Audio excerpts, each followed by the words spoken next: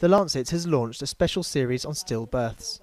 The most recent data shows 2.6 million stillbirths occur globally each year, at least 7,000 a day. So this problem is really a huge number. This number, 2.6 million, is more than the total number of AIDS deaths and malaria deaths put together.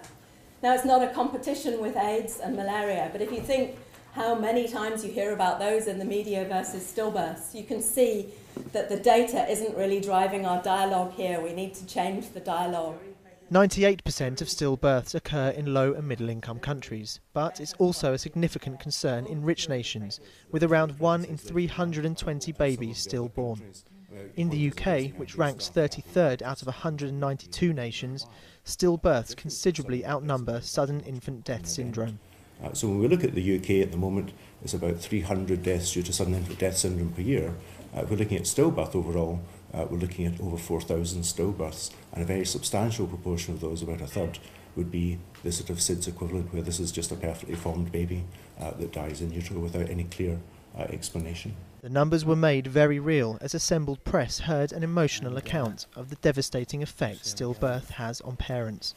I'd just like you to imagine being catapulted from the joyous anticipation of a, day, a baby's birth to the despair and devastation of a stillbirth.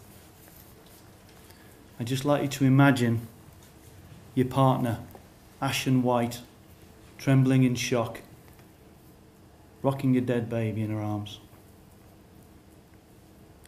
Just like to imagine having to tell friends, families, grandparents that there is no baby. I don't have to imagine all that because at 7:40 p.m. on the 30th of September 1995, our perfect baby boy Matthew was stillborn at 38 weeks. No complications, no issues, no explanation. And in the UK today, 22 parents don't have to imagine either. The series also includes a vision for 2020, setting out a number of effective interventions and targets for reducing stillbirths. The goals has been set to be that countries with a stillbirth rate of less than 5 per thousand should eliminate all preventable stillbirth and close the equity gaps. For countries with a current stillbirth rate of more than 5 per thousand, the goal should be to reduce the stillbirth rate by at least 50% from the 2008 rates. The hope is this Lancet series acts as a catalyst for change so that millions of children have the chance to live. And you can ask any parent across the world about their stillbirth baby and thousands and millions like them.